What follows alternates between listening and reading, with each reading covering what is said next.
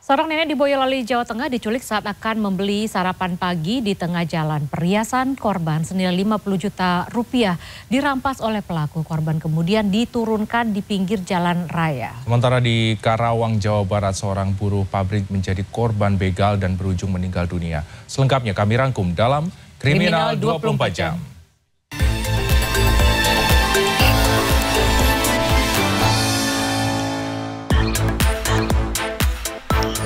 Aksi pencurian dengan kekerasan terjadi di Desa Gubung, Boyolali, Jawa Tengah, Senin pagi.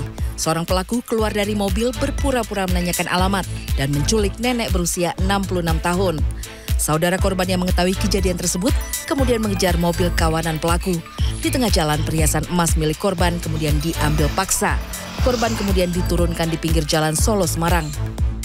Senin siang korban didampingi anaknya melaporkan kasus perampasan ke Polsek Cepogo, Boyolali.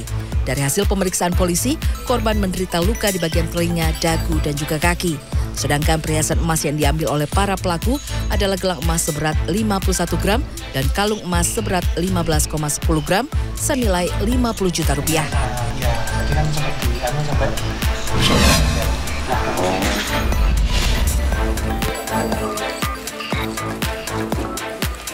Dua pelaku tindak perdagangan orang di Bekasi, Jawa Barat ditangkap tim Reskrim Polres Metro Bekasi Kota Senin siang.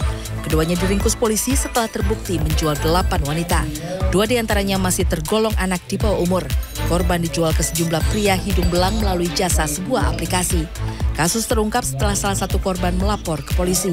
Dalam sehari, korban dipaksa melayani 3 sampai 4 pria hidung belang.